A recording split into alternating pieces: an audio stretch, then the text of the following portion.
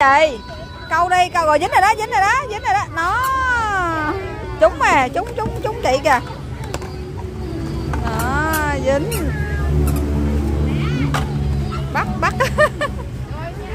Ra đi câu cá.